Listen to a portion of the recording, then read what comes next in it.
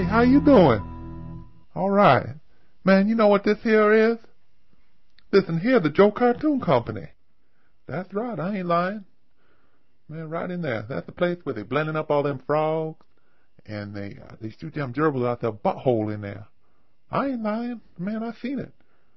Man, and I tell you what, you all don't want to be around here when that starts happening. That's for damn sure. Man, that'll kick up a stink. Whew, man, you won't believe it. Man, that's good eating though. I ain't lying. Man, they're a little stringy sometimes, but uh man, you fry them up in a hot plate. Whew, man, I tell you, you think you died and went to heaven. So hey man, you uh y'all wanna go in and take a look around in there? Man, it ain't no big deal no I sneaks in there all the time. Man, I sneaks in and they got them paddle pops in there in the freezer.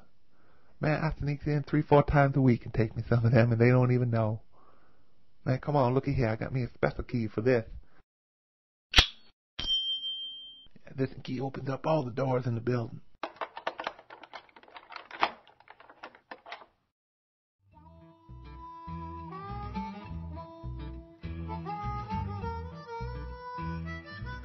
Now this in here is the Mississippi beaver beaverlope.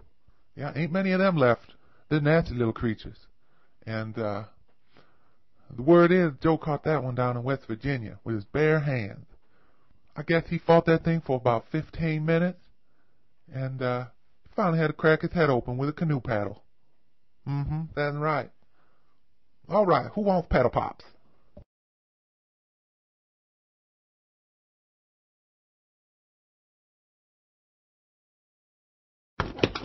All right. Sometimes you gotta hunt for 'em. They hide 'em sometimes.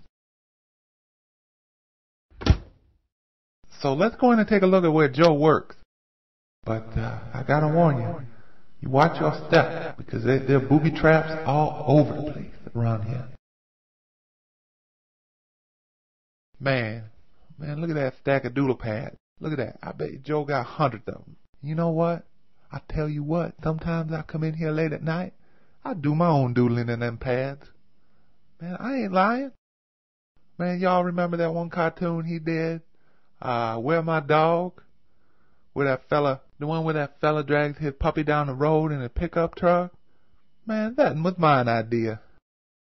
Man, I ain't lying. I sat in here one one time about three o'clock in the morning and drew that thing out for him. Man, Joe look at that thing the next day, he think he did it. Man, I ain't lying.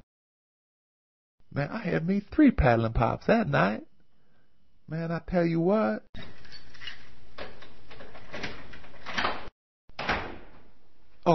shit.